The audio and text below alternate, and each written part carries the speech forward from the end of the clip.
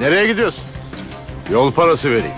Al o parayı dürbük, ananın amına sok orospu çocuğu.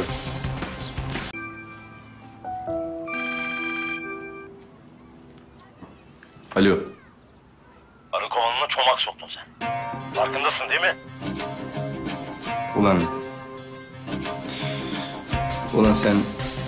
Benim evime kadar girdin. Ulan senin götünden kan alacağım ben yavşak. Asıl sen bundan sonra olacakları bekle. Madem elini ateşe soktun, yanmasına da katlanacaksın.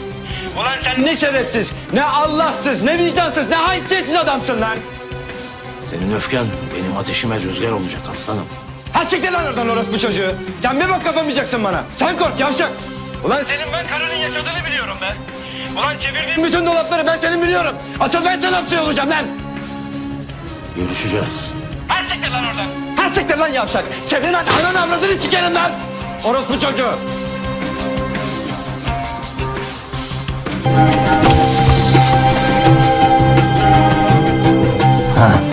İşte böyle. Gebertirim lan seni. Lan yemin ediyorum gebertirim seni.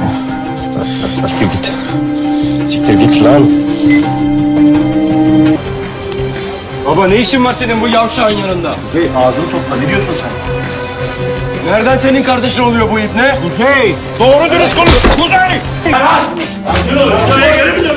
Dur geri. Herif bana ait olan bir şeyi aldı. Orospu çocuğu görmüyor musun? Damarıma basıyor beni. Ya sakin ol. Senin var ya, senin dişlerini söküp eline vereceğim lan gavat. Çık lan karşıma. Çık lan! Ben dövüşmem.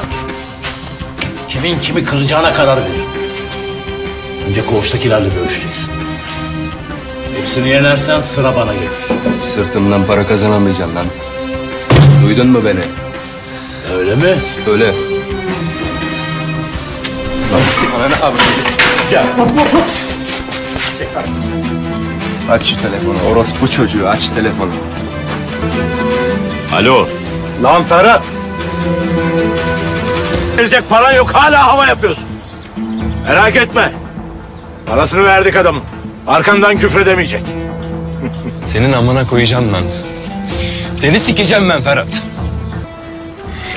Senin derdin benim amına kodumun oğlu. Lan! Uğraşma etrafımdakilerle.